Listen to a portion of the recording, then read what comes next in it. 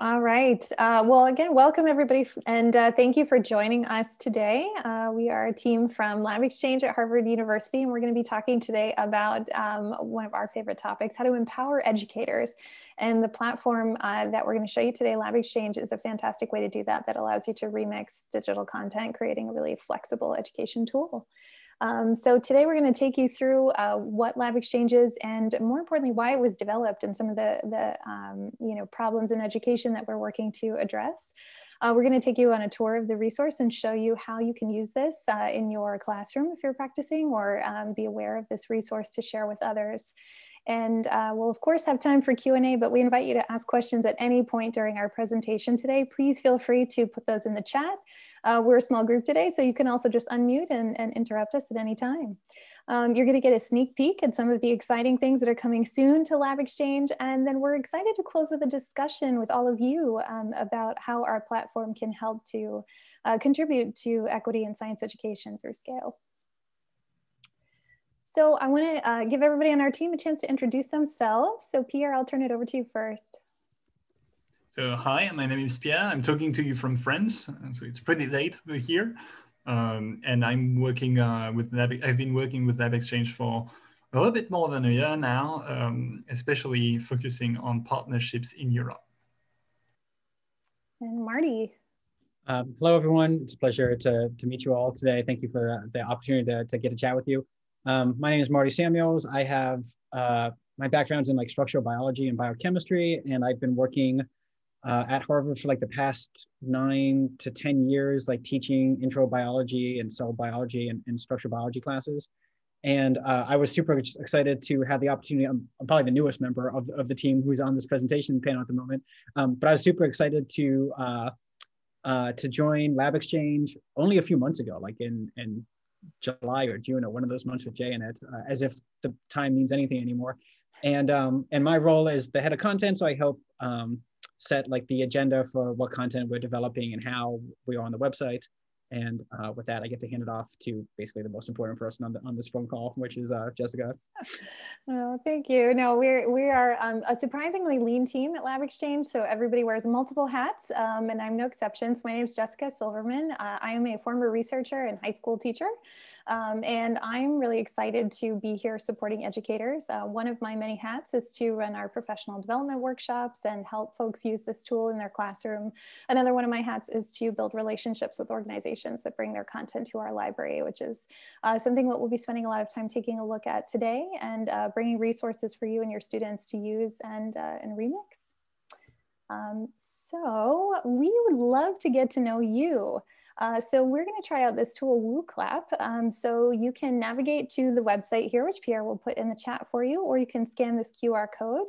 And we would love to know a little bit more about you. We're going to ask you um, what your job title is, what you teach if you're currently teaching, and your goals for today's workshop. So um, you'll see each of those questions pop up. So we'll start. Number one, um, what is your job title? If you can throw that into WooClap we should see those pop up here. We'll give you about 30 seconds to pop that in. We're curious to know, are you teachers that are with us today? Are you administrators? Uh, what are you involved in? Awesome, librarian, fantastic. All right, we are a small but diverse group today. That's great. Um, all right. We would also love to know if you teach, um, you can use the word teach uh, subjectively here. Um, what subjects do you teach? And this will help us so we can point out some resources as we go today that will be most applicable for all of you.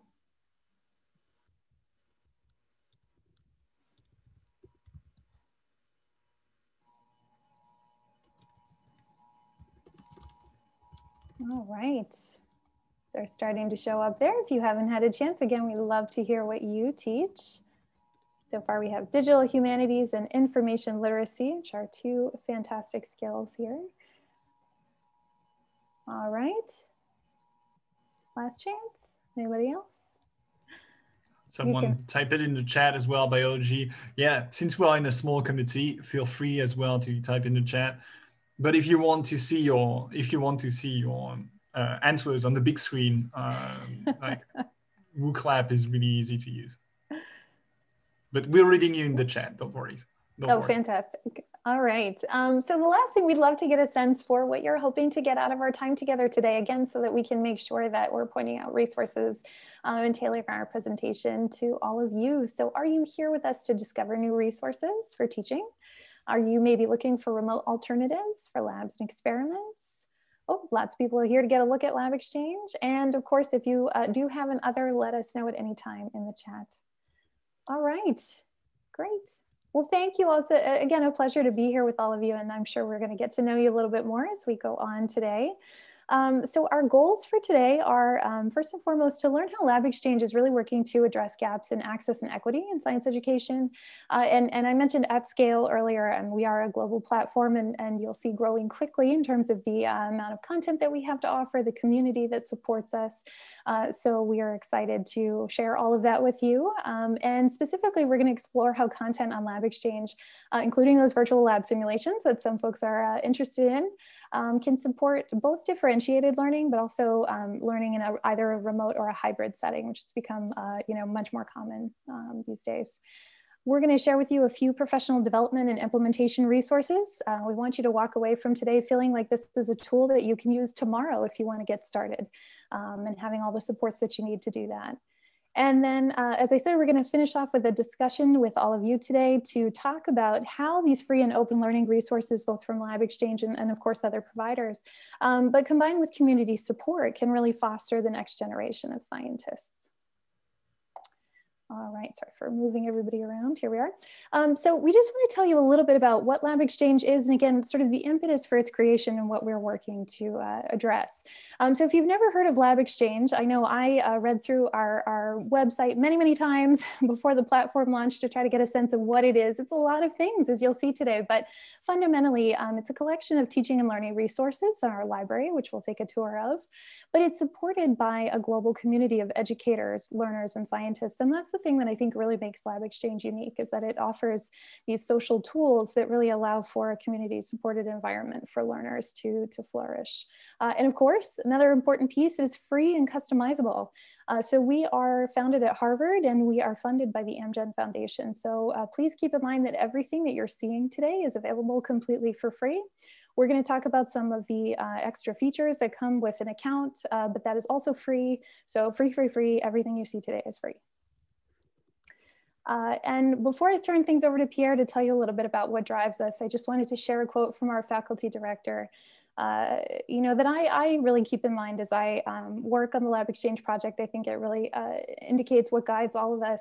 We're really looking to create a world with equal opportunity for success in science for anyone, anywhere. And it's a big goal, it's a big ask.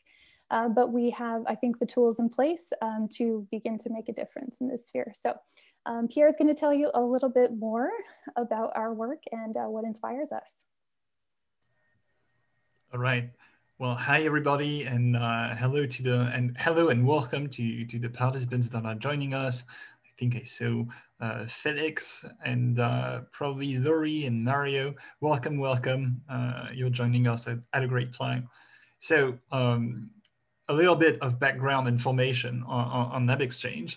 Um, the concept of LabXchange uh, came uh, came to light uh, because of you know a double challenge uh, that uh, science educators face. Right, the first one is that, um, as Marty brilliantly put it, science is fundamentally an act of experience-based learning. Without doing experiments, it is very hard to um, uh, to, to, acquire some knowledge in uh, any kind of scientific class. And that has three uh, consequences when it comes to accessibility and inclusivity in, uh, in science classrooms. First, well, teaching institutions and educative, uh, educate, uh, education organizations uh, sometimes lack equipment and materials and time and resources to um, probably offer those experiments to their students the second uh, big um, issue is that experiments they re really need to be um, contextualized and properly and benefit from the appropriate pedagogical framework they need to be part of a teaching scenario of a pedagogical pathway and you will see that we're very uh, attached to this uh, to this word of pedagogical pathway. Uh, in order for the experimentation to make sense and to uh, generate the maximum amount of uh, of learning uh, to for for any kind of of students. And finally, it can be very very hard to implement them remotely. And although that was probably not the norm in the past when LabXchange started and we uh, went out of the beta at the during the uh, last days of January and uh, early February. So, so it was another world back then in which uh, le learning remotely was definitely the, except the exception and not the norm. But the other side of that uh, challenge in science education is that uh, when it comes to online science learning, well, it is far too often very vertical and insufficiently interactive. And by that, I mean everybody here has taken a MOOC. Most of the time, MOOCs, they are uh, nothing more than very long videos in which you have to sit through all of it and sometimes have a few uh, base level interactions. This means that it's very passive learning and thus it yields less results. But on top of that, uh, the pedagogical resources that you can have to use uh, when you're building a, um, an online class, well, they can be very hard to navigate, either for you as an educator or for the learners. Uh, and the reason why they are hard to navigate is not because they are too hard to find. Now we can find them, but it's difficult to integrate them seamlessly uh, into a course.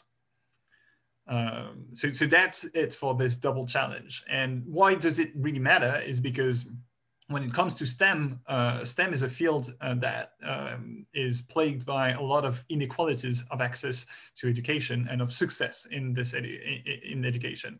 So we have uh, we have selected a couple of facts there, and I tried to source them with very recent numbers for them to be really relevant.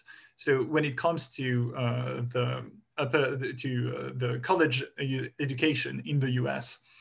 Uh, women earn overall slightly more bachelor degrees than male, right? They go, when they declare a major, they go to the end of it uh, and they get the bachelor more often than men, except in STEM. And it's pretty much the only field in which it is the case, in which uh, women tend to, like only 36% of them tend to, uh, to, to earn their degree, while 64% of men uh, do so in the world, only 35% of STEM, stu uh, of STEM students are women uh, in higher education.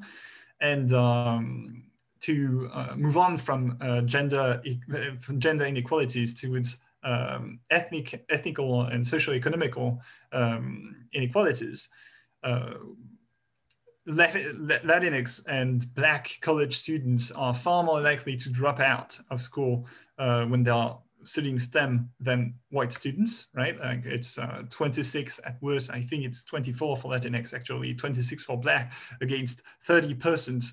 Uh, only 30% of uh, white students drop out of school when they are studying st STEM. And um, of course, as we were saying, access to good material, good uh, pr proper equipment is essential and critical to be able to um, teach science in the right conditions. And uh, in schools uh, in which more than 75% of the students qualify for subsidized or free lunch, uh, free lunches, uh, only 49% of the teachers declare that they have enough resources to teach sciences properly, uh, while it is more than 75% for uh, schools that have that are a bit less disenfranchised. And uh, yeah, that's a little side note. Uh, for now, we, we start seeing a lot of uh, studies on how COVID-19 impacts um, the learning uh, experience in a classroom. Uh, so in France, we already have some official numbers since we had a mandatory nationwide uh, stay-at-home order. And so that applied to 12 million of um, learners from elementary school to high school and um, usually only 30,000 students learn from home, learn remotely in France. So all of a sudden, uh, the, the number uh, was multiplied by, uh, you know, this absurdly huge, uh, absolutely huge amount. Um, and uh, at least five to eight percent of those students dropped out in just those three months. And um, those are the numbers of the Ministry of Education. So you can expect, and actually most of the unions expect that um, it is much the the, the the, the consequences are much more dramatic than that, and that the the actual students that dropped out and stopped completely stopped um, tuning in remote school uh, tuning remotely at school is the double uh, the, is the double amount of those numbers. So uh, this whole project also fits within the uh, global sustainable development goal agenda uh, that was identified by the UN. And I'm probably gonna uh, move through that a little bit quickly. Of course, um, Exchange was was uh, conceived with uh, SDG number four in mind, right, to ensure the quality of education for all. Most of those sub-targets that I've listed there are about uh, having a truly inclusive education and uh, equal access to education, but also uh, to further and um, improve sustainable development education and, uh, you know, encourage a new generation of leaders uh, that will be able to engage with sustainable development in a significant manner. But we also uh, target some other SDG goals. Uh, so I threw a couple of them there, uh, but of course, gender equality and for the same reasons, uh, because uh, LabXchange also tries to ensure that any kind of user can participate and learn equally on the platform, but also um, to um, since LabXchange is open to any kind of institution, any kind of learner, any kind of educator all around the globe, we try to enhance scientific research and scientific co cooperation and collaboration throughout the board. So that's 9 and 17 SDG. And finally, because um, health and health education uh, is part of good health, we also try to tackle the third uh, SDG. And I think that's it for this uh, little background of where does that idea come from and why is it uh, relevant, uh, the work we do and the work that uh, the place of open education resources in uh, science teaching remotely. Fantastic. Thank you so much, Pierre, for the uh, introduction to the project. And, um, you know, again, an invitation to put any questions that you may have in the chat or to speak up if you have questions on that. Um, I think one of the exciting things about LabXchange is that it's continually evolving. And so this is a project that has been co-developed with educators and students from the start. And so as we, uh, you know, learn more and, and the needs change um, for our users, the, the platform continues to adapt as well, which of course we've certainly seen uh, during the pandemic. Uh, so with that, we're going to take you on a little tour of LabXchange. But before we do, we want you to think just a little bit about some of the resources that you may already be using, um, free online resources that you might use in your courses, uh, and thinking about what be, might be some of the big pain points uh, for using those resources. Um, and specifically helping you think about um, when you're teaching classes remotely, what tools you're using there. So we're going to head on over to uh, our, our favorite WooClap here for just a moment to um, get a, a, pulse on how everyone is feeling about those things. Um, oopsies, we may have gone a little far ahead. There we go. Um, so just a quick question, how have you used free online resources in your courses uh, if you have used them? Have you maybe used them to guide the creation of your course um, just to kind of get a sense for what's out there? Have you used them uh, as an optional assignment for enhancing your class? Or do you tend to integrate them more fully as a core part of your class? Or maybe you haven't had a chance to try using free online resources just yet. Um, so take a moment to see what, uh, what applies best to you and for the person who joined us uh, and didn't participate in the first like let's get to know each other uh, part just hit the link that we posted in the chat and it's very straightforward or you can just uh, you can just type it in in any kind of web browser. And it's a great way for us to to to um, to know which like what are your expectations for this uh, workshop and uh, and get to know each other. Yeah Fantastic. So it looks like we have a, a, little bit of a split. This is fun to see in real time, pulling ahead or using uh, OER as optional pieces here in your class. Maybe not necessarily as the core, but, but quite a spread. So it's very interesting. Um, wondering kind of what are some of the pain points that might be contributing to those decisions? So are you having difficulty finding good quality resources? Um, are you having difficult finding uh, you know, relevant resources? Is it challenging to integrate those resources into your course or your project? Um, are you finding issues with accessibility of those free resources, either for your learners or perhaps for those uh, creating courses? So looks like we're seeing the majority of the pain points there around uh, integrating resources somewhat around accessibility and finding the right resources. All right. Well, that's only one answer, uh, Jessica. Oh. oh, no. That's a the, like everyone can rate uh, which oh. one is the most uh, oh. painful. Ah, so you can right. see the moving average actually. oh, it's so interesting. All right, so we'll give it another second or two here if you haven't had a chance to weigh in. All right, so I know we're going to address uh, certainly how to find resources today and how to think about integrating them as well. Um, and certainly the accessibility question depends on perhaps the uh, content pieces that you're looking at there. All right, um, so one more question before we dive into our tour. Uh, so thinking about what types of resources you might be looking for specifically for remote teaching. Um, and if you haven't yet taught remotely, uh, you can think about, um, you know, maybe some of the hybrid uh, resources that you use that um, you may have students implement for a flipped class model. Uh, do you use live recordings of an experiment, uh, maybe tutorials, walkthroughs, guides of an experiment? Uh, for folks to do at home? Um, do you use simulations uh, or other remote experiment uh, tools? They'll give you a moment to weigh in on that. You may use more than one, of course.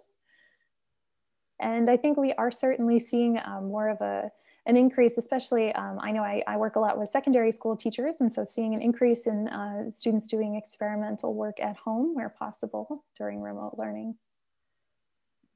All right.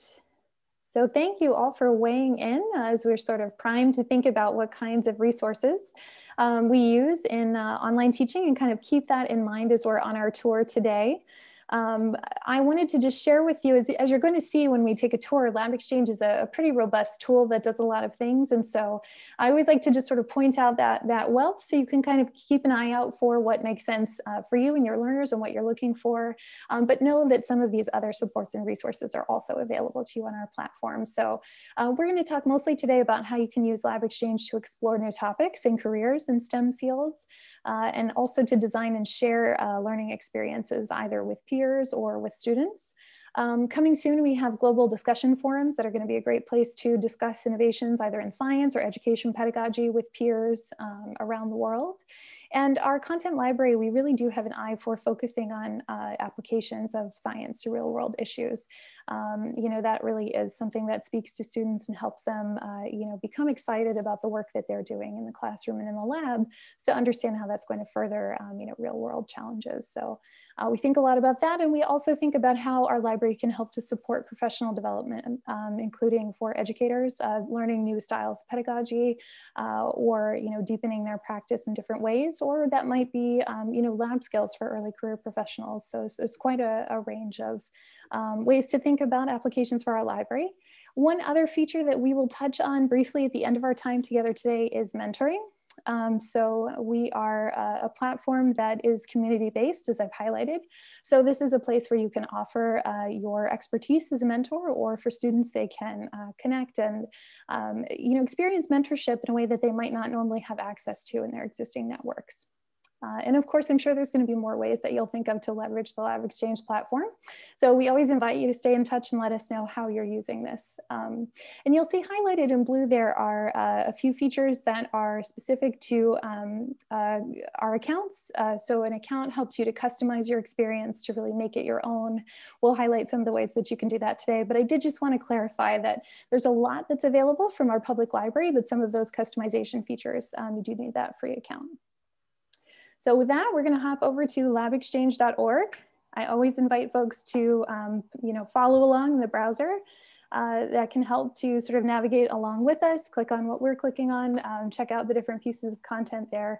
Uh, and please, throughout our tour today, let me know if you are uh, at any point not seeing what I am describing. Um, but you should see when you navigate to labxchange.org, you should see our homepage here. And uh, you'll see over here on the side, we have a browse button that will take you to each of the different parts of our site.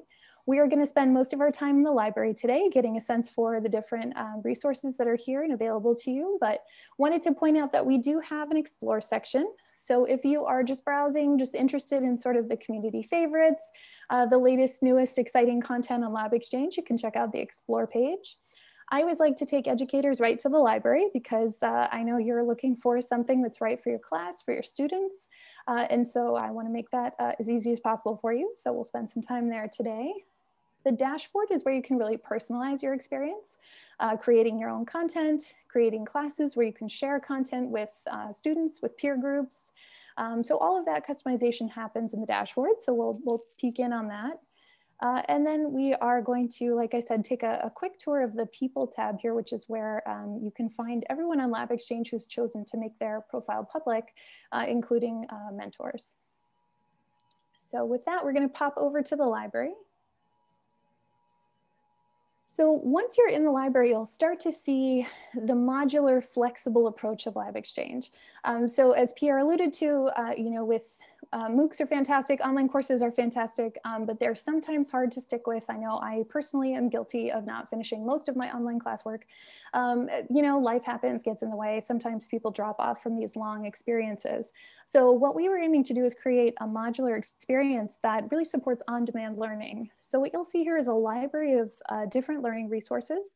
Some of them are, um, uh, you know, collections of resources, and we'll talk about that. Uh, and others are just individual learning experiences like a single um, experimental simulation or a video uh, that you can, you know, click on and learn a little bit, investigate a little bit, and, uh, and move on. So there's lots of different ways that these library resources can be used.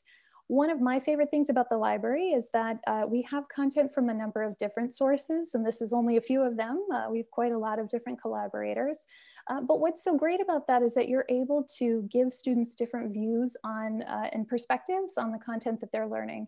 So it, it really promotes flexible thinking to be able to show and uh, approach these different ideas um, from different graphical uh, you know, representations, different um, ways of talking about or, or uh, looking at these topics. And so um, part of that flexibility for, uh, for educators is not just having a choice of um, resources, but also uh, different ways to um, you know, share these topics with their students.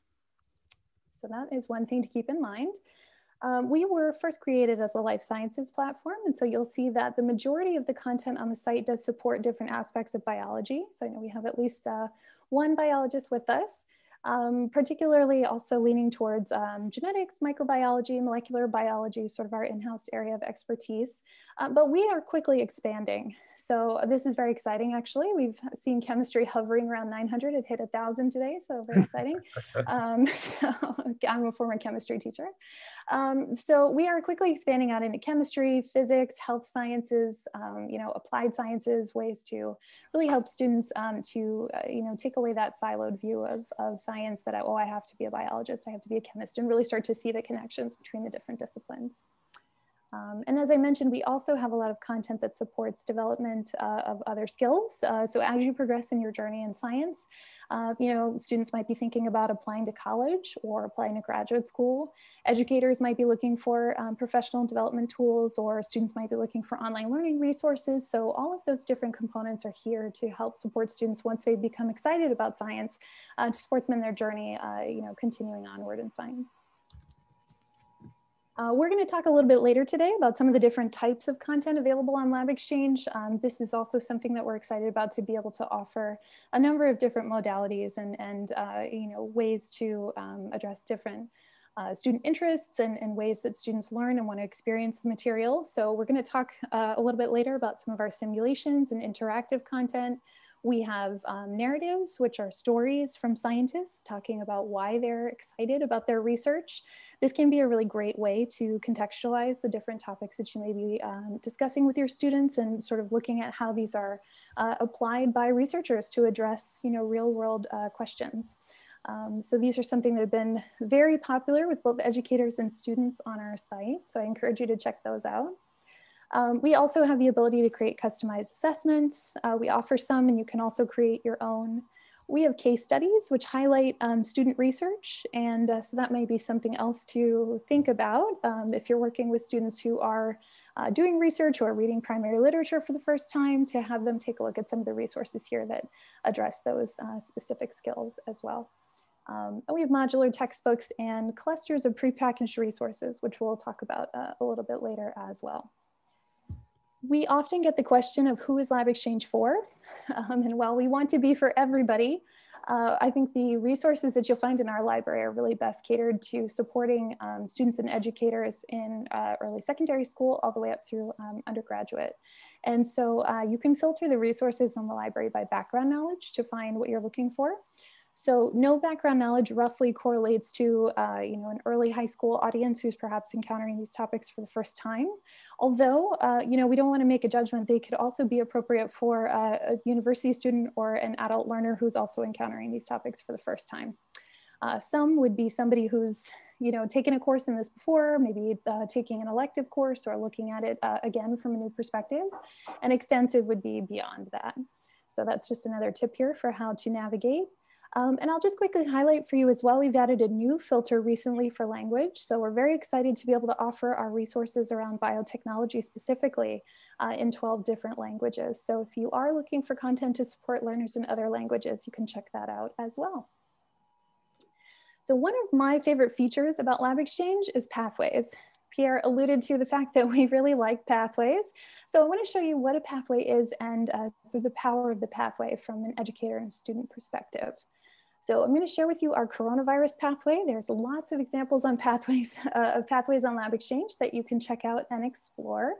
Um, this is one that we designed and released earlier this spring to help students understand the conversation um, that was going on in the media about the connection between coronavirus and bats. Uh, and so what you're seeing here is a collection of sort of bite-sized learning experiences. They're short um, text articles or infographics or questions uh, that all address this topic from different perspectives. And by the end of this pathway, students have met a set of targeted learning objectives. Um, and so what's great about this is that you know you can take this as is and use this with students. Um, or what we heard from uh, many educators this spring is that they, they took this and made a copy and customized it for their students. Um, we had a great uh, you know, story from some educators in Italy who took this and used it with their students and the students were so excited about the pathway that they actually created their own research projects um, you know, based on what they had learned from this pathway. So that was really exciting to hear. Um, but here's what I love. So you can make a copy of this. You can click these three dots and hit clone. And what you'll get from that is an editable copy of this pathway. So now you can change anything here and adjust it as needed to meet your, uh, your students' needs. So if you are teaching students who maybe are not uh, so interested or not ready to talk about the life cycle of a coronavirus, you can take that part out. And then you can take a look in the library to see what other content we might have related to viruses uh, that might be a good fit for your students. So maybe you actually want to show them a representation of different virus here. Um, or maybe I want to make sure that I find a video so I can filter by different types of content and slot in uh, the pieces that are right for my students and for my particular lesson. Um, you can move these around. You can uh, add notes. So this is a great feature, especially for um, remote teaching and learning. So you can add something like, you know, as you watch this video, keep in mind, um, and you can use these notes to help connect students to experiences that you've had um, synchronously, or you can also use it to kind of stitch together the different um, assets that are in your pathway and help them uh, pull more meaning and connection out of those assets. Um, if you're working with a video, you can also choose to play just a portion of this video if you want to, um, to make the point for your students. And so um, when students click through this pathway, it will start, um, you know, wherever uh, you've asked it to start. So, uh, and this is something that you could do at the level of a particular class. Um, so I used to teach a, a differentiated uh, multi-level chemistry course um, that was project-based. And so, you know, we were developing the curriculum as we were going. Uh, and so, um, you know, that was a lot of work to put together all of those individual lessons to support different students. Um, then you would have students who were absent or who needed, you know, a bit more scaffolding in different areas or extensions. Um, so being able to have a pathway like this that you can clone, you can adjust, you can add different pieces to, again, either for a whole class or for individual students, um, it's an incredible time saver and an incredible support for those individuals. So once I'm done adjusting my pathway here, I can go ahead and save that. And it's gonna save that to my personal dashboard. Um, so we, we glossed over the dashboard just a little bit. I'll just show you what that looks like very quickly. The library that we were just looking at, our public library, um, is a collection that we've curated from, uh, you know, building relationships with different organizations. Uh, it's vetted, you know, organizations that have uh, great perspective to contribute. And so, um, you know, you, you, can trust the content there. Um, but we still want you to be able to uh, customize and, and use content that you know works well for your students that you already know and love, uh, or maybe something new that you want to try. Um, so any of that customization uh, is possible. It just means that that content comes back to your educator dashboard. Um, you'll see the little private lock on all of these pieces of content here. So I can still use these with students. I can still share them with others. Uh, it's just that um, it won't show in that uh, big public library that we were taking a look at. Um, so happy to, to chat more about the distinction between the public and the private library if anybody has any questions on that, but just wanted you to know that again, that customization is possible. You can add uh, really any teaching resources um, that you need. Jessica, there is yeah. a question in the chat. Can anyone create pathways and how is it different from a class? And thank you, Mario, for that question. Yeah, great question. So anyone can create pathways. Um, your students can create pathways if you like. This is a, a, great tool for students to be able to demonstrate mastery and show their perspective on a topic. Um, so anybody from their dashboard um, in the My Content tab here can add new content at any time. So you can add individual pieces of content, you can make custom assessments, uh, you can add images, text, videos, I always like to point out document if you have, um, you know, papers that you want students to read or lessons that you already use, um, you can add those here. And then here's the button that I can use to make a pathway. So if I click on this, you'll see the editor looks very similar to what we were just looking at, but now it's completely blank. So I can add all of my own topics here, uh, and then I can add all of my own tags, um, and I can select content just as before either from that public library here or uh, from your own content as well. Um, this is my son got excited about one of the scrollables we were making, so add a picture of him. Um, but you know, you can just keep going here, adding as many items as you like, and again, rearranging things um, however you need in order to um, meet the learning goals that you've set hopefully that answers that question. Oh, and how is this different from a class? We're going to talk a little bit later about classes. Um, we have classes which are basically collaborative spaces that allow you to share content um, with specific folks who are enrolled in your class. Um, so stay tuned for that and you'll see how that's a little bit different. Other questions so far? Yes, we do. Um, I think Felix uh, Felix uh, asked a question. Actually, I can take this one. Mm-hmm. Um, so the interface, uh, the interface is multilingual, but the content isn't. How do you enter multilingual content and or translation if possible? So to answer your first question, actually, we have a user interface that the user interfaces are translated as well, even though full disclosure, it's still in the works, right? Like uh, you will see, we're actually uh, leveraging our community uh, feedback to improve on the translation of the global interface, but the uh, resources that you see that are available in another language have been translated by um, experts in the fields, and normally those are fully usable for uh, for, for any kind of um, any kind of public, whether it is educators or learners. Uh, and as for the translation, for now, it's um, it, it is like a two-side uh, process in which the team works a lot on the on the translation, but we also uh, we welcome any kind of member of our community who wants to contribute to uh, either improving on the existing translations if there was a little typo or mistake anything that slipped through, uh, you know, three, slipped through uh, the net, or um, really if we um, have some very motivated teachers that see some great content in a language and want it to be available in another language and want to contribute to that process. That's definitely something we're open to in the future. Okay. We're, we're receiving a lot more questions. Thank you very much. Um, Mario finds the concept of pathways very interesting. Well, uh, you're welcome, Mario. And as, you've already heard, I love pathways, and I think it's one of the best features on LabXchange. Um, so Juvil uh, Dario Beca is asking us, how will this integrate with the uh, learning management systems? Yeah, that's a great question. Um, so I'll just point out that all of the content on LabXchange has its own unique URL. So one easy thing to do, no matter what learning management system you're doing, is to share this through your LMS just the way you would any other web-based content, posting the link, um, you know, adding it as an assignment. Uh, so it's nice and flexible in that way, and that works for private content as well. Um, another feature I'll show you here, especially if you use Google Classroom, you can share directly to your Google Classroom there. Um, and so those are the two uh, you know, primary ways that we encourage folks to work with their learning management system. Um, we'll also show you in a little bit our classes where you can monitor student progress uh, and that information can always be downloaded uh, to share with your usual LMS as well. All right. And speaking of classes, I think I skipped the question. Oh, yeah. Sorry, Mario. I skipped the previous one. Is it different from a class? I think that's the next step in Jessica's tour. So uh, hold on this question. Uh, we will show you around in just a second. Um, moving on to two other questions. Lori asked us if um, what are the type of uh, license for the materials? Is it CC?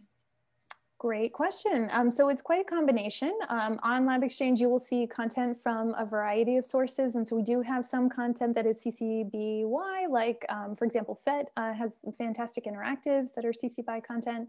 Um, we have CC BY NC content, and we also have content that is copyrighted but is permitted for sharing on LabXchange.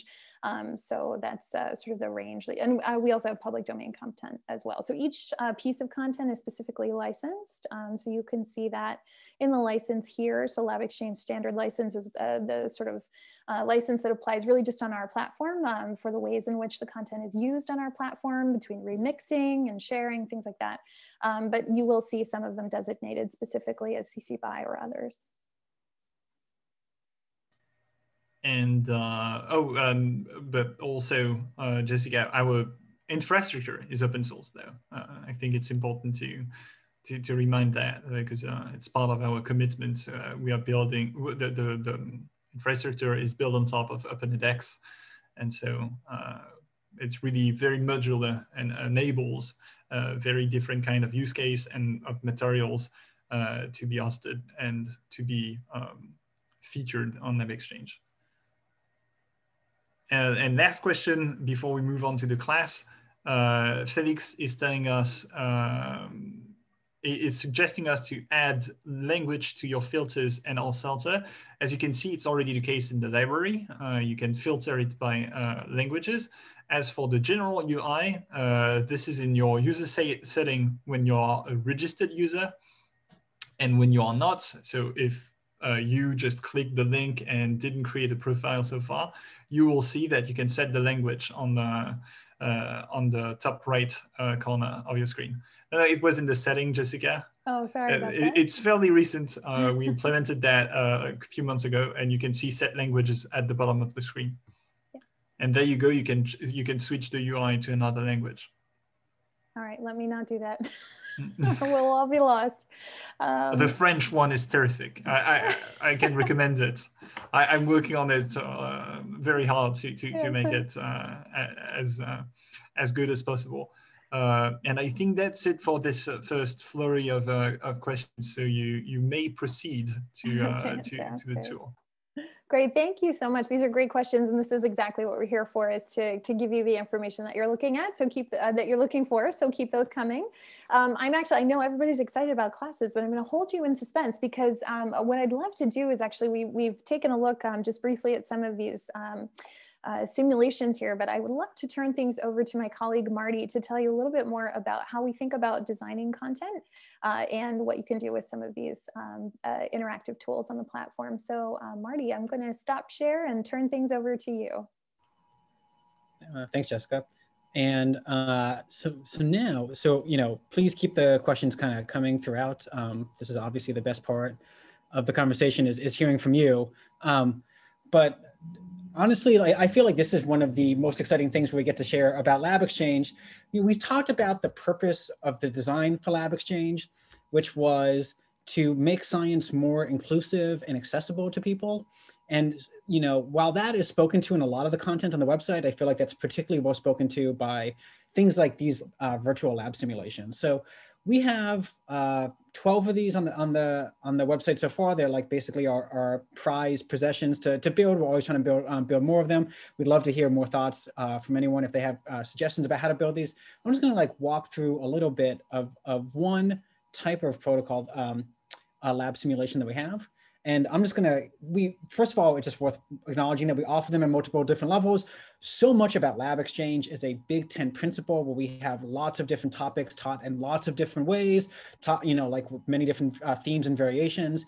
Do you want to learn about, I don't know, for the example, for example, do you want to learn about the second law of thermodynamics to build a refrigerator? Do you want to th uh, think about it to talk about how proteins fold? Do you want to think about it to uh, think about how to design drugs rationally? Uh, Similarly, with the content that we design as well, we are also designing it to be uh, very flexible and suitable for every particular student and user. So no matter you know uh, who the student comes in, they could pick, you know, do they not have tons of background on this particular experiment? They have a little bit of background, they have a lot of background and expertise, and they want to take like a more kind of um, sophisticated approach to it. Um, but I'm just going to pick level one uh, to for the get-go. And you know, without dwelling about the you know, we have like a little bit of content that context that kind of like introduces the lab technique to the to the user, to the student, a little bit about the methods that are involved, and we have like little place cards that kind of tell the student a, little bit about these as well. I'm going to skip over that as well because that's not too much the fun stuff. Um, and before you can actually do the experiment itself, because evidence uh, in educational research always says that the biggest benefit you get out of um, doing almost any activity is by first critically engaging and making a prediction before you actually make an observation or do the uh, experiment. We ask users to basically predict what they are going to get out of this. So here uh, we tell the user that the purple dye is the largest and the yellow dye is the smallest. And so we ask them to kind of rank order in a pretty fun and interactive way, um, you know, what they expect this, this gel to look like. And then the real fun happens, which is uh, you get to basically just get a lab bench unto yourself. So um, for a user who's unfamiliar how to use the, the uh, techniques, we have like the all the steps kind of very detailed and pointed out.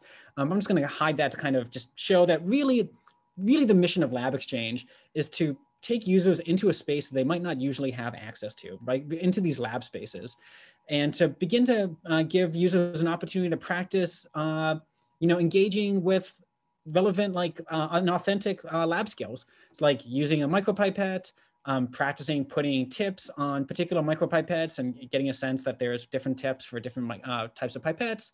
And if you were to load a gel, that you have to put the gel in the gel box first, and you always have to make sure that the gel is pointing the right way. We do a phenomenal job of making sure that gel always default points in the wrong direction. So the user always has to kind of like flip around to make sure that it's going to run in, in the appropriate way. Um, and basically, we just want to provide a fun way to um, bring a user into the act of what is it like to do science? Like if you've never thought about science before and you were interested in thinking about science as a career, how would you ever have the chance to practice developing those lab skills or thinking about how you can use those lab skills to uh, solve a worldly problem? And so here I'm just kind of like quickly walking through th these steps um, but I think you can get a sense for how we are trying to gamify the act of doing lab techniques. And unfortunately, for some reason, I've done all of these steps relatively well. But normally, like if you screw up a whole bunch, let me see, let me screw up on the next one. Um, like if I, uh, let's see, there must be something I can do incorrectly. Like if I try to put the tip on without opening the gel box, it starts giving me a bunch of feedback. And really like this is a, a central focus that we're trying to uh, build a lot in LabXchange, which is that we want these lab simulations to be formative opportunities where people have multiple chances to try something, make a mistake, try something again, uh, and get really good at something and feel confident about it so that they can join a lab um, if they never, even if they never thought they would be a scientist before. And so this is really how we're thinking about uh, LabXchange as, as something that can make the act of science more transparent and accessible to people who might not have all these lab materials or might not have the time to do all of these experiments in their class.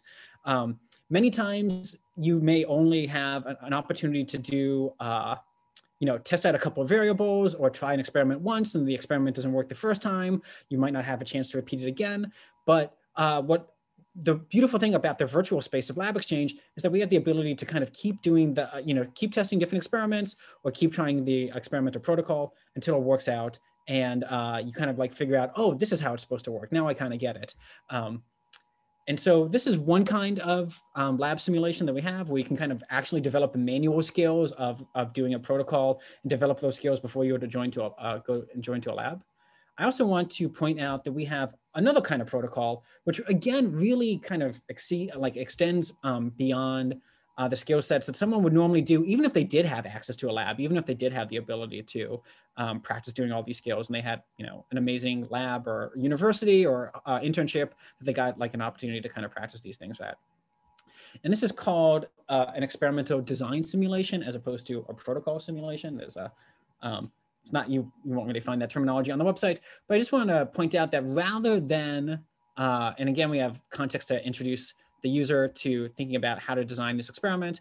And in this particular case, we really cared that we are making science hit home, right? We really want science to be something that, that a user finds empowering, that they see a connection to understand their world, understand how they can shape their world, and understand like why science is useful uh, in like a very uh, applicable sense. And so, you know, we took the opportunity to make a, a, a lab uh, activity about how to design a, a vaccine for the coronavirus. And if we were to just um, go to the most kind of interactive and fun step and kind of skip through all the context and introductory stuff. What this simulation is really designed to do is to say, okay, if you were in a lab and you were to start off with these materials, if you had the gene sequence for uh, the coronavirus, and we had an expression vector that allowed us to express proteins, how would you go from those meager beginning points all the way to a purified protein that we could use as a putative vaccine for the virus?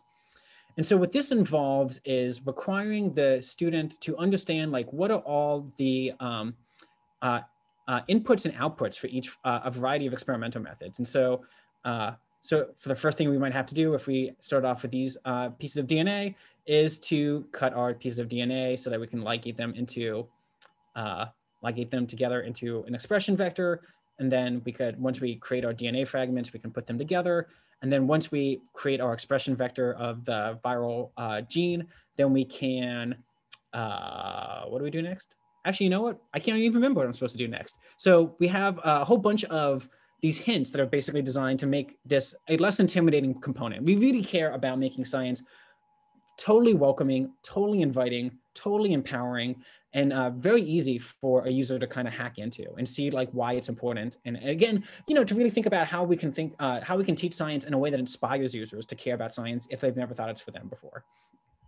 Uh, so here I'm just gonna like take this hint and that starts filling in some of the steps that I had like forgotten to fill in. So now it's kind of filling in these blue, the steps in the blue box and the steps in the green box. And that this, this is really just to indicate that this is a different type of of um, experiment that you can do on on LabXchange, um, not just kind of like the the manual um, developing of the techniques uh, and, and the skills, but really thinking about critically, how is it that like in a lab, you would design experiments, choose to do experiments to go from a beginning to an end. And uh, in that whole process, again, because we're trying to normalize error, we're normalizing mistakes, those are normal parts of the scientific process. Those are totally why we want to have multiple attempts. You can make nine mistakes in this round. I think there's fewer than nine slots you can even try to fit things into. You have multiple hints that you can get feedback on.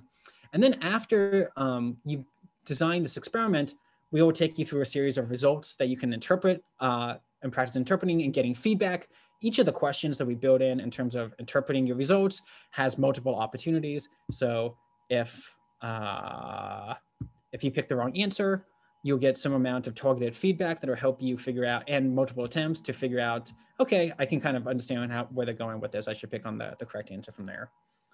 Again, in the vein of trying to normalize uh, how challenging science can be and that doesn't always work out the way you expect it to be. We also include troubleshooting sections in all of these simulations.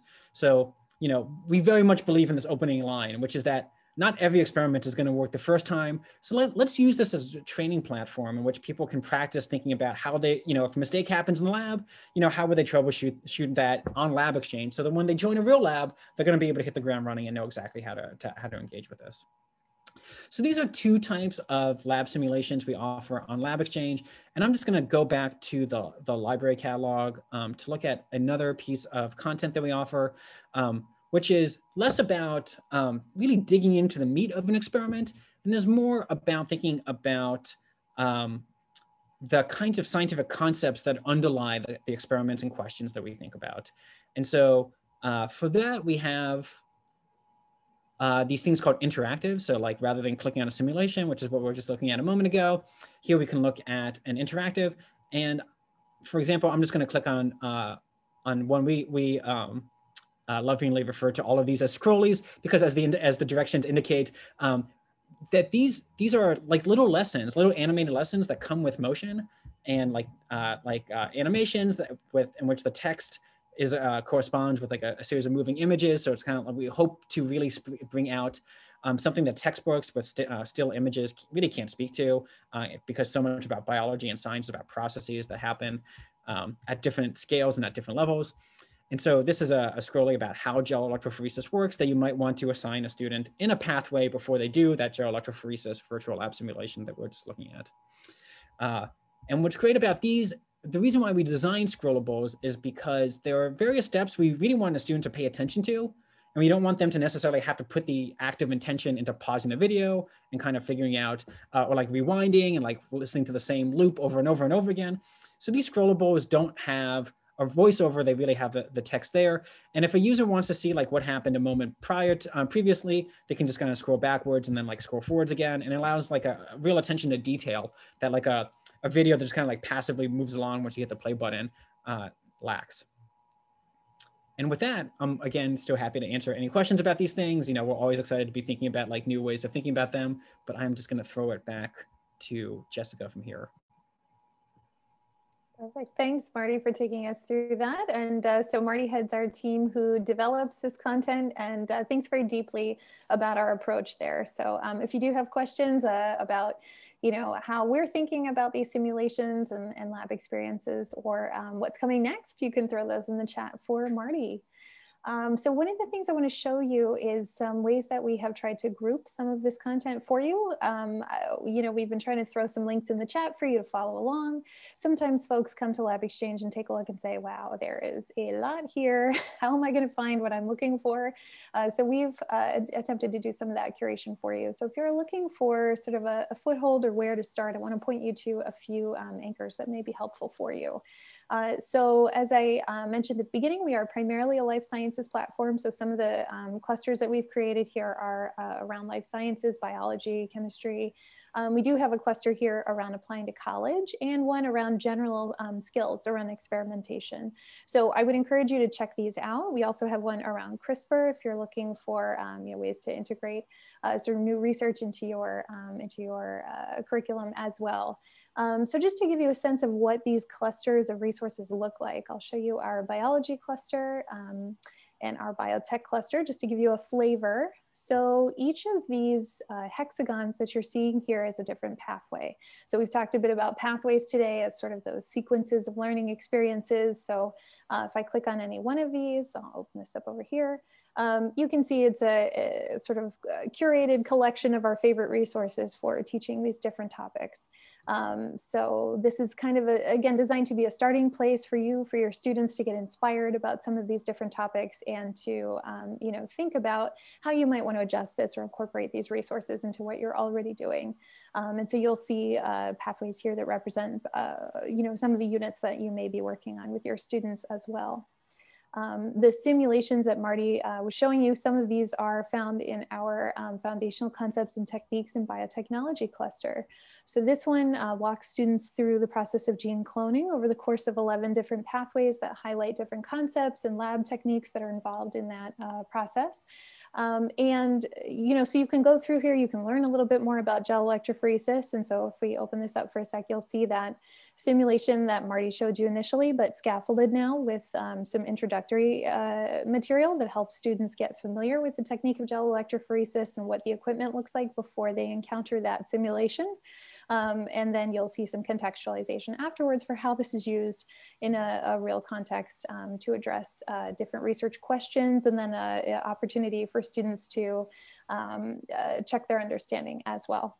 Um, so that's just an example of one of the structures that we've offered uh, for, for this um, simulation, but of course we hope that you'll take it and contextualize it uh, yourself as well. One of the other things that we've offered here is a tour through this uh, collection of resources. 11 pathways is a lot to choose from. So uh, if you're looking for sort of just an introduction, an overview to what genetic engineering is, uh, this is one example here. You could potentially follow these four pathways to get that big picture overview. Uh, or conversely, if you have uh, you know, students who are about to do a particular lab exercise or you know, students who are starting a, a research project and are going to be building a recombinant plasmid, uh, you may want something that's much more um, uh, you know, practical in terms of the application. And so we would recommend this tour here. So, um, you know, one of the exciting things I think about this cluster structure is that it helps you, you know, think differently about your curriculum um, and think about, you know, which are the common hexagons here, which are the common experiences for all students, and then which are the groupings that may, uh, you know, make sense depending on different student um, interests or particular learning goals. Uh, so, uh, you know, lots to explore here in the library. Again, we have um, a number of different clusters here that may be of interest from general experimental skills uh, to, you know, more um, specific uh, topics. This is a cluster that we designed uh, end to end. It's one of our first clusters on um, CRISPR-Cas9. And so there are some great simulations here on running a protein gel and Western blotting that we would encourage you to check out if those resonate with your curriculum as well. So with that, I think we are actually ready to leave the library. We've given you a pretty thorough tour of everything that's here. Um, again, please feel free to keep those questions coming in the chat or let us know uh, if you have questions on anything else that you've seen so far. Um, but now I'm going to take you over to our classes to take a look at that. Um, so I'm, I'm wondering if I may have misunderstood how someone was using the word class and thinking about um, a course. So I would say these clusters that you see here are not designed to be a course per se, but they are a thematic collection of resources that uh, all relate to a particular topic. Um, but we have actual, what we call classes is sort of this collaborative space um, where, uh, again, you uh, and your peers or your students can get together uh, to talk about and, and uh, learn about different content. So um, it's pretty easy to create a class from your dashboard here. We have a nice little widget. So in just a matter of seconds, you can have a, a class here related to, um, you know, anything, anything that you like, and you can enroll up to 300 learners. So if you're running a big class um, for students, hopefully that's not a, a, a limitation for you.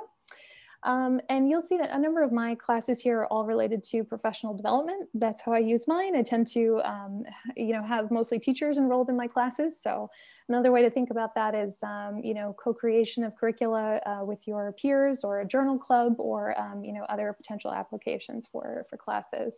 Um, but I'll show you what the infrastructure for a class looks like uh, as you think about different ways that you might be able to leverage this. So in a LabXchange class, um, this is you know a private space. You have to invite folks to join, but once they do, they have access to any of the content that you make available in your class. Um, so I can switch to the learner view for a moment. So um, anyone enrolled in my class will see uh, the learner view if my internet holds up. Here we go. Um, so you can see all of the content that's been published here for students to view and they can go through it in this particular order. Uh, and then I'll show you in just a moment that you can monitor their progress through that uh, as well. As an educator running the course, um, you have the option to add content at any time. Um, you can also, I have some unposted content here that I could be thinking about, uh, you know, putting out later. I could be planning for, you know, in two weeks, this is what I'll, I'll need. Um, so you can add content here to your unposted space using the same uh, add content button that we've seen before. Uh, and just like before, this is drawing from our public library, which again, you can filter. So if you're looking for one of those uh, simulations or interactives that Marty showed, um, you can find those here, add those to your course. Um, or again, you can add your own content as well to make sure that you are, uh, you have the flexibility to add, um, you know, anything that you need uh, that you want to share with your learners. And so you can just click add there. That will put it here in your unposted section. And then if you click this plus button, it will release it to your class. Um, so we can go ahead and do that. Um, so you'll see it show up in just a moment here. And if I've made a mistake, I can undo that, or I could actually remove it entirely from the class if I want to. Um, so this is a great way to really control what students have access to. If you want them to just have access to an assignment for you know, a short amount of time, or you don't want them to start until you've done a particular experience together in class, uh, you can use that as a way to um, moderate what they're seeing. And uh, so your learners are all here. So um, when folks request to join your class, you see that here. And so you have control over who joins. Uh, if you are running a large you know, lecture class and you have 300 people joining, don't worry, you don't have to click them all at once. You can just approve all at once uh, here with this button. And so the way that your students enroll in the class is through the unique class code that's here. So you share this with your students just as you would share any information. You can post it to your course website. You can um, send them an email, anything you want. And then your students can join through their LabXchange Learner dashboard uh, and request to join the class. Once you accept them, they'll have access to everything that's in your class. So it's a, a, nice check that allows you to make sure that, again, all the, the right folks are where they, they should be. If you're running multiple sections, make sure students are in the, the right one. Um, the other thing that's nice about this learner tab is that you can uh, interface with students uh, directly here so you can see their individual progress on different pieces of content you can assign them individual content. Um, so great for differentiation, also great for students who may be um, you know, absent or have missed a, a, lab experience and you can help them get caught up in this way. Uh, and then you can also individually message students if you need to check up on, uh, you know, uh, hey Tracy, it looks like you haven't had a chance to, um, you know, watch this video, just wanna make sure you have it, you can check it out soon, um, you know, whatever you wanna say to them there. And then in the progress, tab, this is where you can keep track of what work your students have uh, accessed. And um, so you can see what they haven't started or what they've completed. Uh, if it's something like a pathway that has multiple components, you can see how much of it they've completed. And uh, if it's something that has assessment questions, you can see what percentage uh, they've gotten correct. So um, again, a number of different uh, pieces that you can track here and use to inform uh, how you, uh, you know, interact with your learners individually. And as I mentioned earlier, in terms of interfacing with your LMS, you can download this information at any time and uh, add that to your regular learning management system. One other great feature of the classes, uh, again, kind of harkening back to the fact that we're built on the Open edX platform and leveraging uh, the discussion feature, uh, discussion forum feature from LabXchange that you see from edX that you see on many of their courses. Uh, on LabXchange, we have also included a discussion forum here. Um, so this is private to your class. And so you can post, uh, you know, threads here as you like, um, and students can interact with those and the answers, uh, responses show up more or less in real time. So this is a, a nice way to, um, you know, moderate discussions, to run protocols, to analyze papers together, um, you know, anything that you would normally do synchronously with students, uh, you have the flexibility to now leverage the discussion forum uh, to do that um, either synchronously or asynchronously uh, as you like. So, um, so this is what we uh, mean when we talk about classes, uh, this collaborative space that's available for you to share content, to follow up and uh, with your learners and monitor their progress through uh, everything that you've assigned. So happy to answer any questions that you may have on that. Um, the last thing I'm going to cover in our tour today is our mentoring feature. So just going to give you a, a, quick peek at that. Um, so the last tab in our platform, we remember our uh, browse button from the beginning. We've, we've looked at the library. We looked a little bit just now at the dashboard. Uh, the last part here is the people tab. And uh, as I mentioned, this is where um, folks who have made their profiles public on LabXchange um, can, can be found. And you can search by role um, for educators, for mentors. You can search by institution, you know, areas of interest. And, and so this helps you to refine, um, you know, what you're looking for. If you are seeking mentorship from a peer or colleague who is uh, perhaps running a, a course um, similar to yours and you want to get some feedback, uh, you can use it that way. Um, for students, again, who are interested in uh, perhaps learning new lab techniques before applying to, um, you know, join a lab or, or do a summer internship, this can be a great way for them to uh, identify folks to help give them that insight too. So I've pre-filtered this for people on the LabXchange team, uh, just to kind of show you what that looks like. Um, so I'll pick on my colleague Mary here. So, um, you know, if I find, I kind of have narrowed it down here so I can click on Mary and learn a little bit more about her. And when I do, I'll see a little bit of uh, Mary's profile here, sort of like a, a LinkedIn profile almost to learn a little bit more about her interests and her background and experience. And then here's where I can go ahead and apply for mentorship um, if I'm interested in that. On the other side, um, I can also make myself available as a mentor if I want to. Um, so here's where you can control sort of whether or not people can see your profile or send you messages. This is very easy to just toggle on and off at any time. So if you're getting a lot of messages or, or um, you know, requests for mentorship, you can change that uh, anytime. So you can add, uh, again, information about your background, your interests here, your experiences, um, and then you can make yourself available to mentor and uh, you can even add a little bit about um, what you're available to mentor uh, around. So, um, and then you can track your mentors, you can add, uh, you can assign them content, you can um, message them just as you could learners in classes. And so you can do all of that from your dashboard as well. So uh, again, just a, a, quick peek there at some of the social features, the classes, the mentoring, and coming very soon are our global discussion forums that we're excited uh, to share. It's yet another opportunity for um, folks around the world to connect around science and around education. So that is our tour for you today. Um, I do want to talk a little bit about some of our implementation resources to help you um, think about how to get started with LabXchange, uh, and then we'll make sure that we've addressed any questions that you might have. Um, so one of the implementation resources that we've uh, developed for you is our remote learning cluster. So I'm actually gonna head back to the library one more time and show you how to find that. So as a, a reminder, we actually uh, filtered for clusters before, so content type cluster, and then uh, here, the second one is remote learning with LabXchange. So um, we are so glad that you're able to spend time with us today and to come on this tour with us and ask us questions. Um, but when we are not there with you, this is a tool that we've put together to support you. So this cluster has pathways to get you started. Um, you know, think about creating your account if that's of interest to you. Think about what the different types of accounts are. Um, you know, how you can uh, think about creating some of the um, different uh, types of content that we've talked about today. It's just a very simple overview of the platform. Um, we have a pathway to help you explore some of the different resources on LabXchange. Uh, again, tutorials of how to add your own content, um, each of the different types that you can create. Um, we talked briefly about classes, but this is a pathway that will walk you through exactly how to set that up and what to press and um, you know how to add content and all of those pieces. Uh, and then we have some pathways to suggest different ways that you can use LabXchange to complement uh, your existing curriculum. So one of the things that we've led workshops on um, for the last several months that's been quite popular is thinking about how to incorporate these lab simulations that Marty showed uh, into your existing curriculum.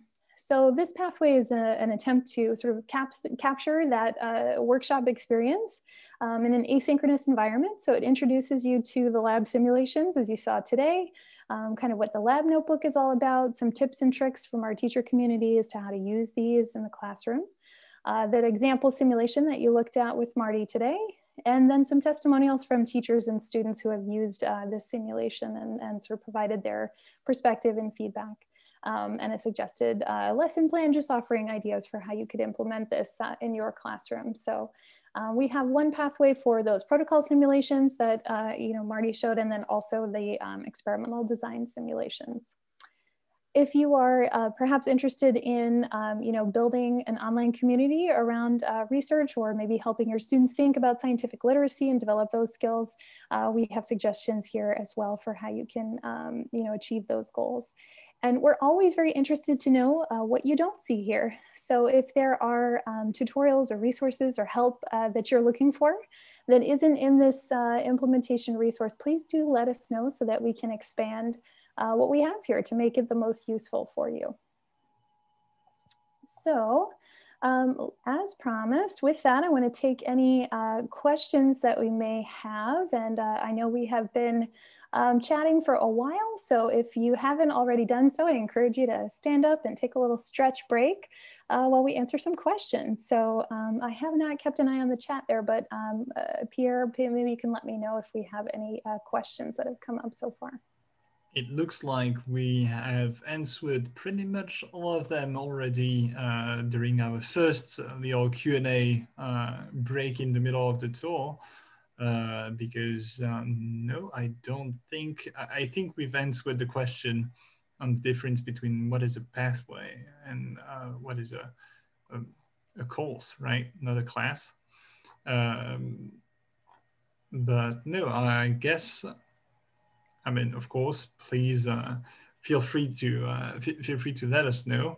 And um, yeah, if some of you have to leave early. Uh, it's very kind of you to leave a note. Uh, so bye bye, Lori. I think she already left. But no more, no, no more questions so far.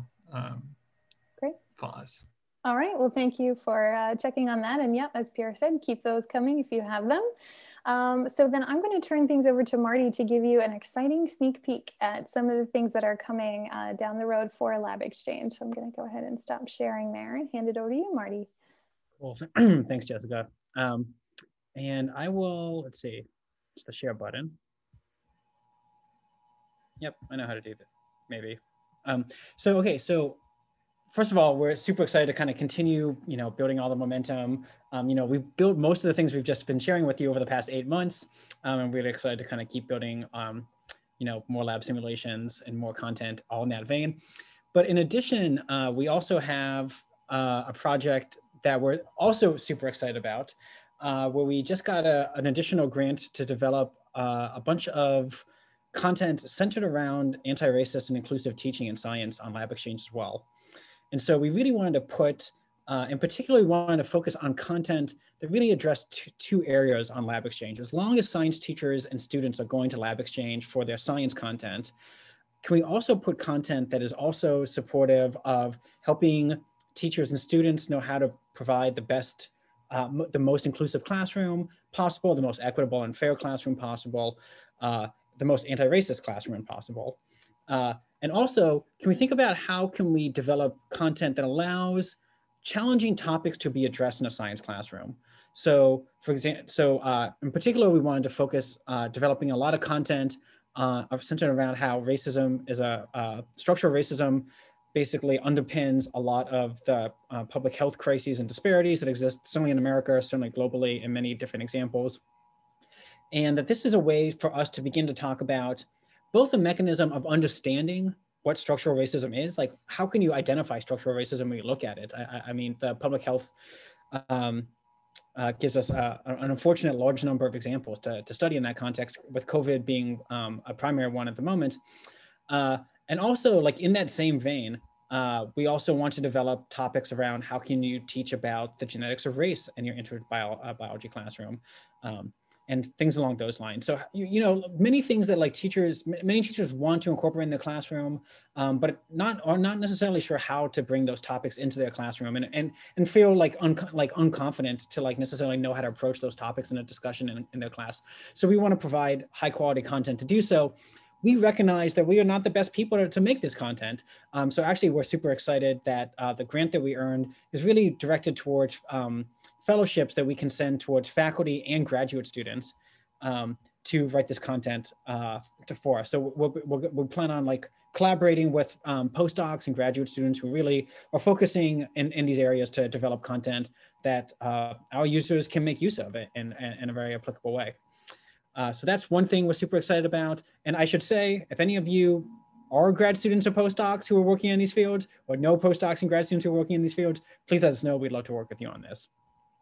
And then uh, lastly, I also wanted to mention some of the tech, you know, the additional technology that that uh, is coming about.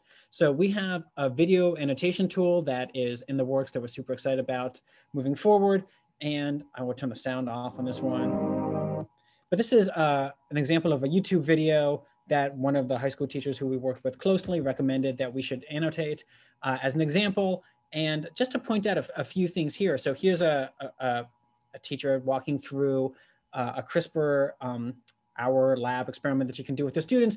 And these annotations we make on this video or on this lower um, left-hand corner, uh, uh, sorry, on this lo lower um, bottom panel that is like the timeline of the video, and they correspond to these um, uh, things that are kind of tracking it on this right panel. And so these first couple of things are like largely um, kind of chaptering, like these are like uh, allowing people to kind of go to different spots in the video. But we can also embed uh, questions. So like, is the student following along? You know, like what is the target of many antibiotics? What is the goal of this particular experiment?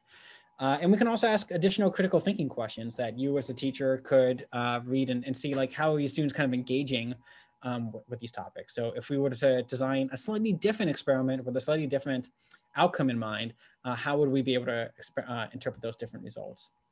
And it's also, um, I also wanna mention more pointedly that when we look at, um, when, when she starts going through uh, things like how you can start pipetting, uh, see, I think that that's like this moment where she starts telling people about uh, the user at home about how they can pipette. We can also uh, link out from that, like annotate that moment in the video and like link out to one of our simulations in which we uh, give students the ability to actually not just watch, but actually practice the skill of micropipetting um, themselves. So this brings you back to like one of our, our sorry, uh, one of our lab benches where you get to uh, practice the act of micropipetting yourself. And then, so, okay, so that's an annotated video. And we are also, I'd be loath um, uh, if I didn't mention this very quickly, we also are developing uh, tools to annotate 3D structures and molecules. So here is a, a, a molecule that we probably know uh, relatively well. This is our uh, my favorite DNA double helix.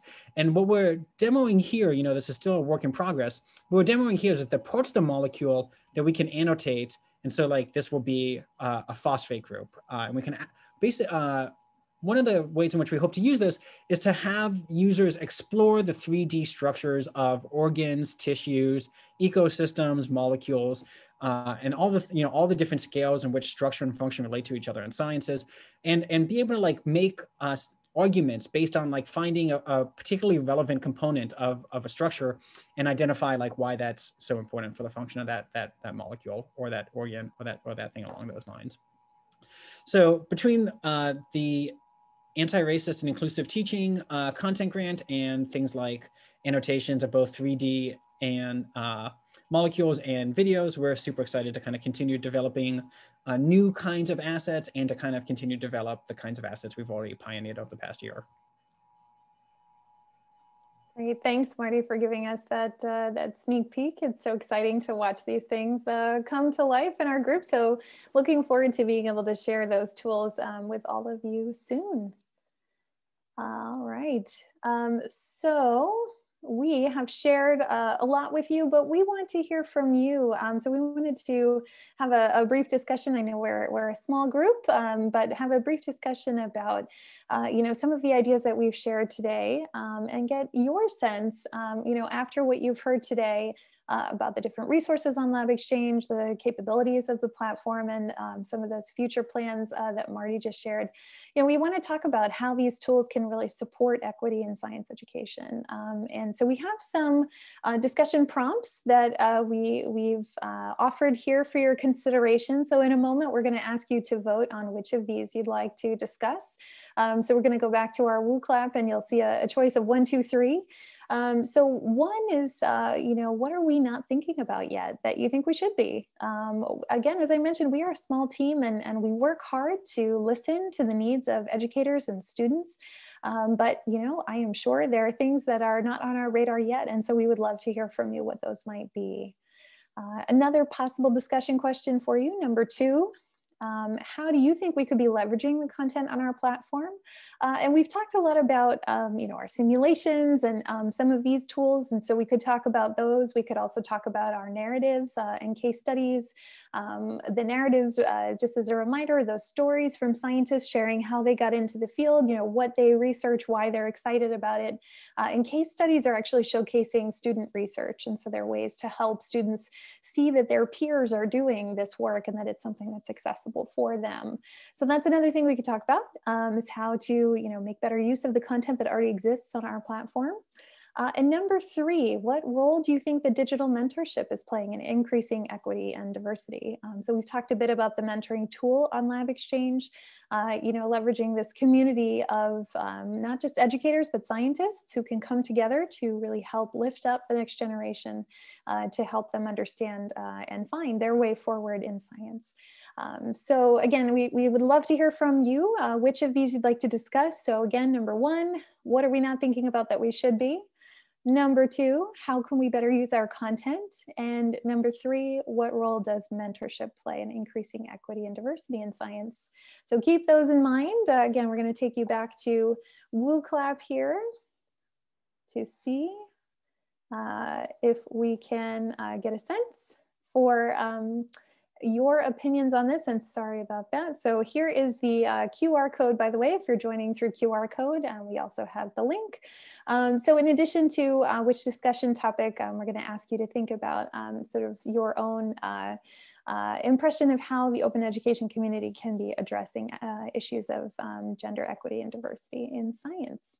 Um, so first one here is uh, your sense of how the open education community can increase gender equity and diversity in science education. So uh, take a moment to offer some uh, ideas, some key words that come to mind for you when you hear this question. And uh, again, if you um, uh, have joined uh, WooClap before, that should be accessible for you. If you haven't, you can just click that link. Um, uh, hopefully Pierre has dropped that in the chat for you. I just did, but it's, it is indeed a very tough question that takes a little bit of thinking to answer. That is true. That is true. This is uh, something that I'm sure um, you know we could spend uh, entire sessions on at the conference, and I'm sure others are. Um, you know, talking about this theme, and so. Um, we don't we don't expect to necessarily solve the problem today, but we want to get your sense uh, of um, what the open education community specifically can do here. So I'll give you a moment to uh, put in some ideas, some keywords, uh, maybe open that up to questions that you may be thinking about related to this. Uh, sometimes it's not easy to think about a solution, but it can be, uh, it can prompt another question for you as you, as you think about that. Um, so we'll give it another moment for folks to contribute uh, an idea there. I think that may tell us that that's uh, something that perhaps needs a little bit more time for discussion than we may have today. All right. Um, well, so I, I'll leave that for the moment. Oh, lowering barriers for entry. Love that. Great idea. Connecting students with more diverse resources and inspiring models and interacting online does not identify gender or ethnicity. So fair fair fair point. Um, that that may be something that's not specified through um, you know a portal like LabXchange where you're um, uh, not necessarily signed in and you're just uh, you know accessing the resources um, through the library there. And making learning resources more flexible and closer to a student's reality. Love that suggestion as well. Fantastic. All right. Uh, so thank you all for contributing those thoughts. And uh, it's, it's, great to see that people are interacting with those answers as well. And hopefully uh, you've seen some, um, you know, themes today that resonate, like, uh, you know, thinking about how pathways and the annotations, uh, you know, that Marty showed can be tools for lowering that barrier of entry, for making things more flexible and meeting student needs uh, more directly. All right. Um, so again, with the uh, you know dwindling time um, that we have left, we wanted to ask you uh, what you'd like to speak further about. And just as a reminder, I know we talked about those discussion topics uh, a little bit ago now. Um, so if you vote for one, it's what are we not thinking about yet that we should be? If you vote for number two, uh, how can we leverage the content on our platform? And number three, what role does digital mentorship play in increasing equity and diversity in science education? So we'd love to uh, have a short discussion with you, hear your thoughts about one of those different discussion topics. So take a moment to uh, vote for the one that you'd like to either contribute ideas around or hear what others are thinking about. See if we have no votes yet. I'll leave this up on the screen just for another moment so you remember the what one, two, and three uh, mean there.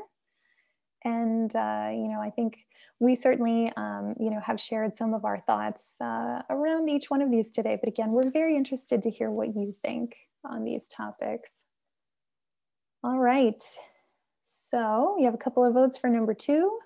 And uh, just give folks one more uh, chance here, if you haven't already voted, to uh, decide what you would like to talk about today.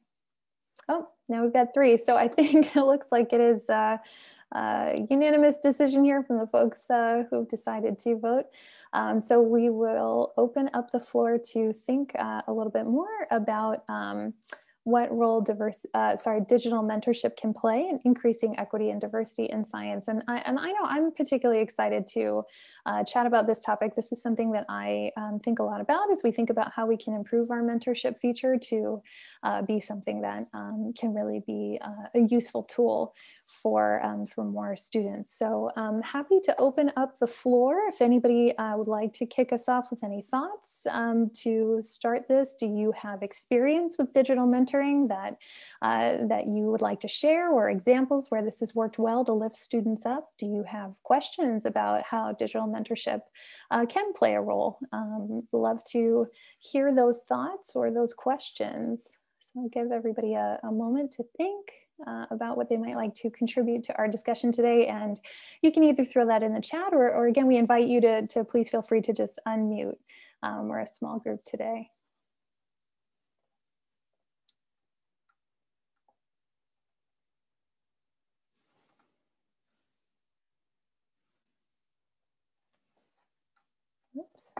Sorry about that. There we go. Um, so just exercising a little wait time here um, as we think about, you know, the role of digital mentorship. So do you have a question? Do you have a story to share about how that has worked well for your students?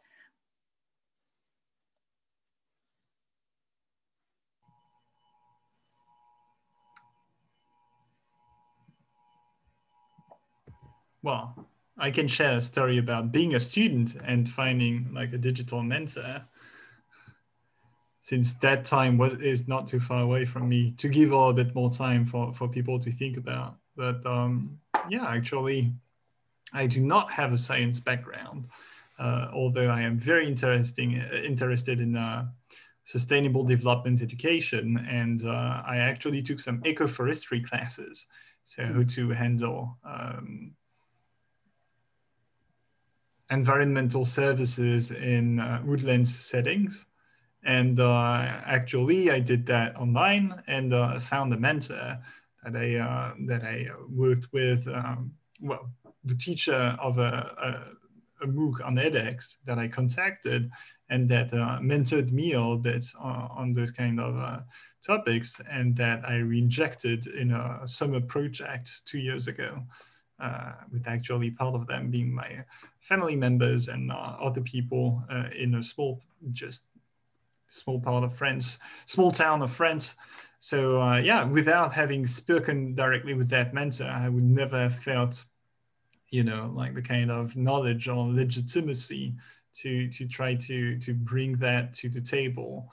Um, and uh, and try to build a project. So so it was very important for me uh, to get out of my comfort zone and feel uh, legitimate um, in a topic that I would have never thought um, I could have um, built anything in, even though this has little to do, of course, with equity and, di and diversity. But um, I guess that digital mentorship is really this, um, you know, way to break through walls in a way.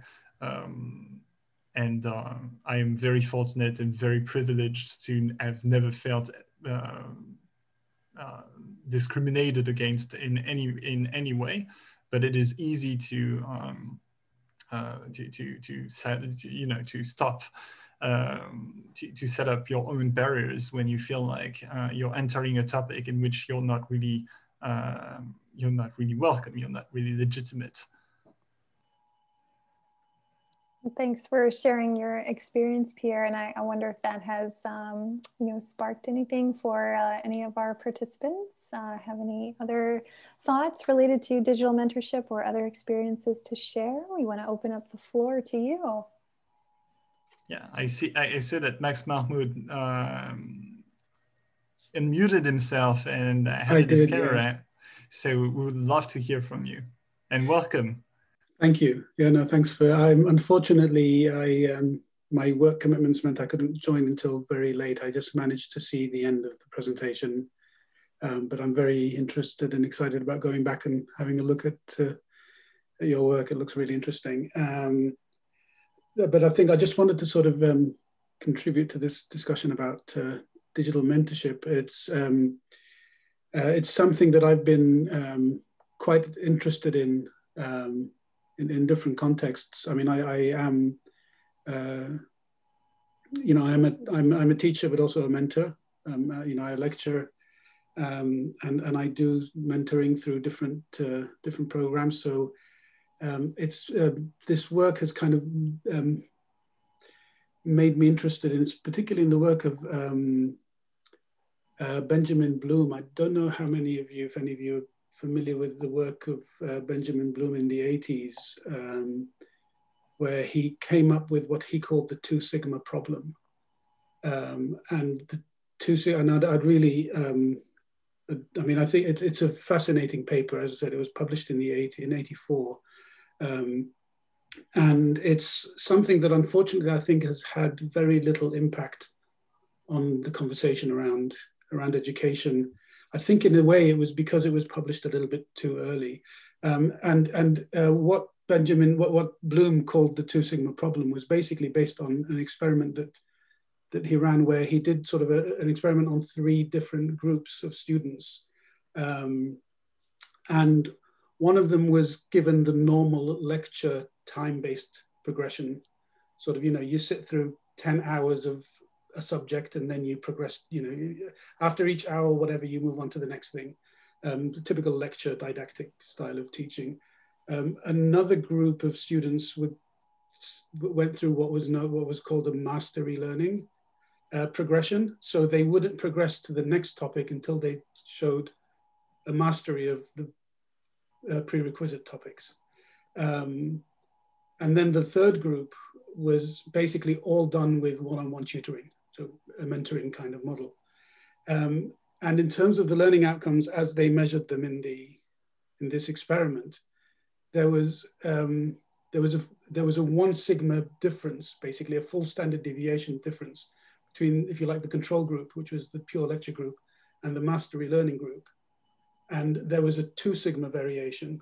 So between the um, control group, essentially the lecture group, and the one-on-one -on -one tutoring group. And, and the reason um, Bloom called it the two sigma problem was, you know, based on this um, experiment, they thought like, you know, the best option is one-on-one -on -one tutoring, but how do you achieve one on, like, how do you, do you achieve the learning progression level of one-on-one -on -one tutoring in a mass education environment, you know, where we can't literally afford to have one tutor for each student.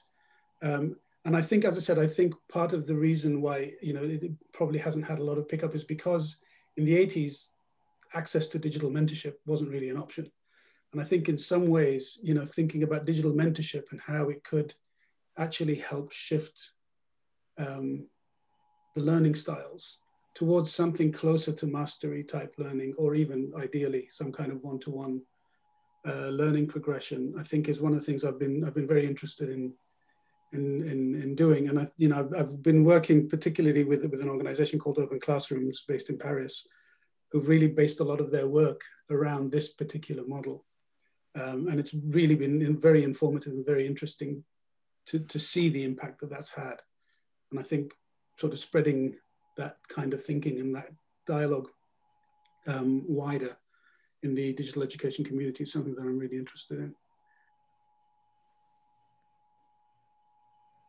Love it, Max. Always, always, always happy to, hear a reference to uh, the two sigma problem. Like uh, it's a, uh, so I think like you know to some extent. I mean, I, I think you're exactly right. Like, how do we create those one-on-one teaching opportunities? Right. Um, those mm-hmm. are the the most effective thing in all education.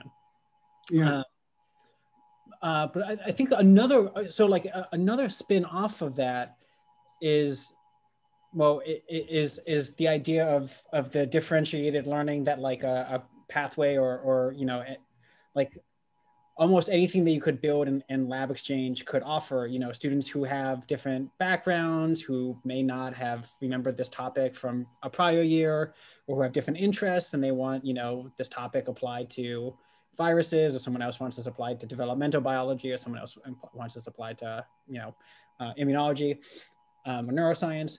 Um, so to some extent, I, I am always trying to imagine like what are the dialogues that happen in a one-on-one tutoring situation. Like you're asking a person a lot of questions, you're asking them what they care about, you're asking them what they want to learn about, you're mm. asking if they're following along, and and yes, we want to create. I mean, so 100, percent we definitely want to create those opportunities in the mentoring systems as well, and and Pierre was nodding along when you talked about the open classroom. I, I was writing that down because I feel like I need to read about that now. But um, yeah, um, I don't know if Pierre, Pierre, wants to speak about it, but would love to learn more about that. But I think that also just underpins so much of what we are trying to do here, which is trying to find something that speaks to the user's values and speaks to their engage, like you know what what their background knowledge is, and helps them you know develop a sense of caring about figuring out the next thing.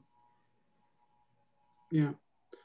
Yeah, I think just if I may just sort of one point about what you were saying as well is that is that um, you know I think in a lot of digital um, online learning environments, especially when it comes to self-guided learning, and sort of um, and especially I think you know really addressing the issue of sort of equity and diversity. I think especially if you look at people who are maybe from um, you know more disadvantaged backgrounds and and partly in terms of sort of you know education is hereditary in the sense that you know the more edu- the, the, higher the education standard that your parents receive the, the, the, more likelihood you are to, to, to, to you know and, and it's it's one of these things that sort of inadvert is just systemically sort of you know is is it runs in you know in, in, in certain social groups just because of the opportunities that are available. Um, and I think in that sense, you know, I think one of the problems with self-guided learning with a lot of digital learning is that uh, learners don't know what they don't know. Mm-hmm. And I think that's where mentoring can really help, if even if it's not in um, this one-on-one tutoring mm-hmm. on, a, mm-hmm. on you know on a on an individual skills level, at the very least in being able to let them know what what what it is that they don't know that they need to go and look at so that they can then improve their learning and improve their access to the kind of knowledge that can um, sort of move them on to the next level depending on what their learning path is and what their you know what, what the situation is so i think you know that that that to me is one of the sort of the key aspects that like having that kind of uh, that kind of access to that kind of mentoring yeah. and being able to prov- and for mentors to sort of to be trained to provide that kind of guidance um, while encouraging this kind of you know this um, self-critical approach of like trying to understand what it is you know how how can they design especially in the context of lifelong learning you know how can they mm. learn how to um, seek out the next thing to learn when they don't if you know basically yeah when, when as i said when they're still at that level of not really knowing what they don't know yet that's so beautifully put yeah so so i kind of completely agree you know like thinking about like you know i i don't well, not not you know I, I, always think of myself as a teacher as basically i'm just like a fancy cheerleader of sorts right? And i'm basically it's, it's always like trying to motivate the student to keep trying to to care about something else to think about something they haven't thought about yet. And i, I agree like i think that that's really the strength the strength of where so much um, of mentoring can, can come from here because you know what motivates someone to click on a simulation or to keep trying or to click on a you know text asset or a video and kind of keep trying and this stuff's hard it's very easy to forget that like you know when um, that it's hard to, to learn these things the first time um, and, and, and so i think that idea of like instilling that sense of wonder instilling that sense of like of discovery um, of agency those are humongous roles um, for, mm. for mentorship and also transparency and just like creating sharing stories about how we all became scientists and how we fell in love with this stuff yeah.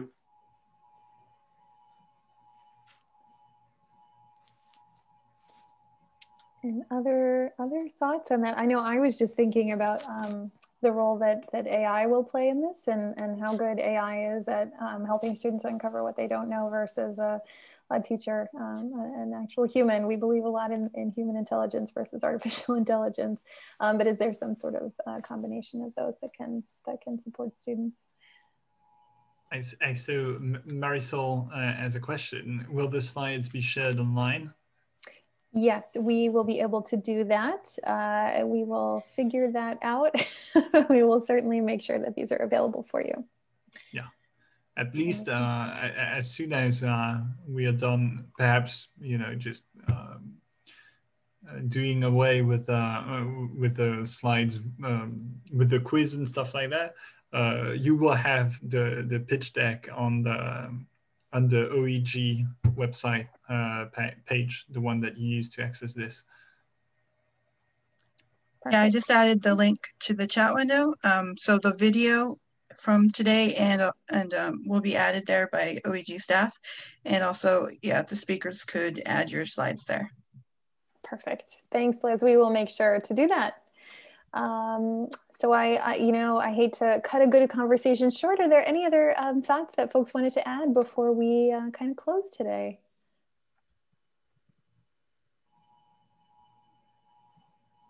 All right.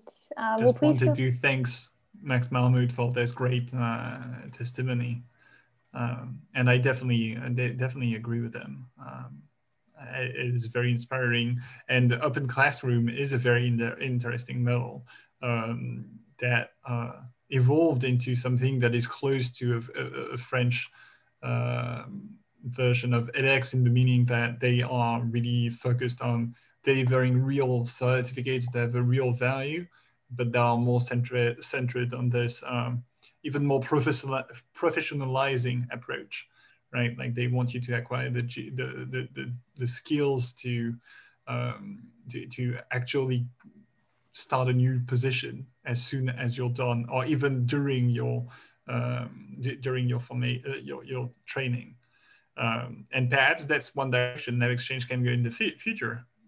Uh, but like the mentorship, the, the mentorship uh, is also something that is meant to create opportunity for learners uh, and to start as slow as research, right? Like not go all the way uh, to, to finding a new job. But definitely, uh, perhaps one day on LabXchange there will be it will there will be some features for learners to um, find I don't know internships and uh, ways to get also inside real labs and uh, get another taste um, at uh, doing science.